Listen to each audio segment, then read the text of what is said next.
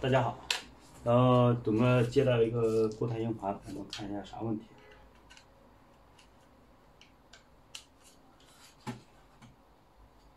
我们打开连口。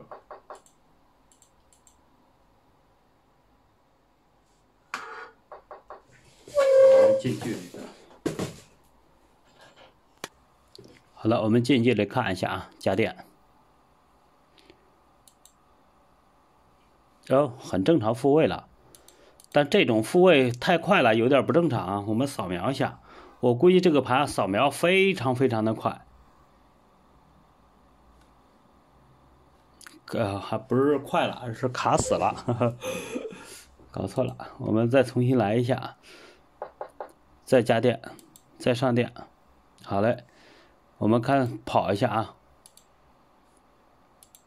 看了吗？这种非常非常的快，那就错，那就不对了。我们访问一下扇区啊，看是扇区对不对？工具，然后编辑扇区，编辑。哎呦，可能还不对。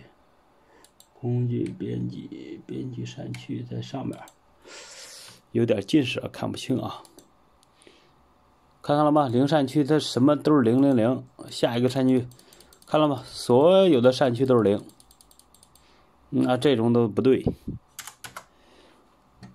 嗯，所以说它这个硬呃这个盘是坏的，那个这种这种办法只能，这是逻辑的坏啊。然后董哥找个专业的设备搞它，这只能用我们的 Table 三，然后给它做翻译器。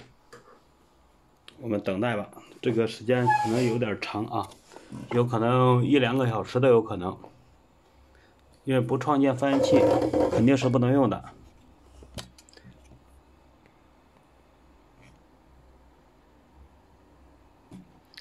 慢慢等待创建翻译器，翻译成功了，数据就可以出来了。这个时间非常的长，咱慢慢等待。喜欢董哥视频，点个关注、转发一下啊！然后有需要帮忙的可以私信董哥。